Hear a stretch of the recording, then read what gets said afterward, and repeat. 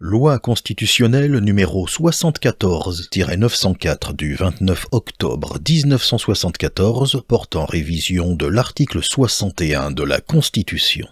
Article unique. Le deuxième alinéa de l'article 61 de la Constitution est remplacé par la disposition suivante. Aux mêmes fins, les lois peuvent être déférées au Conseil constitutionnel avant leur promulgation par le Président de la République, le Premier ministre, le président de l'Assemblée nationale, le président du Sénat ou 60 députés ou 60 sénateurs.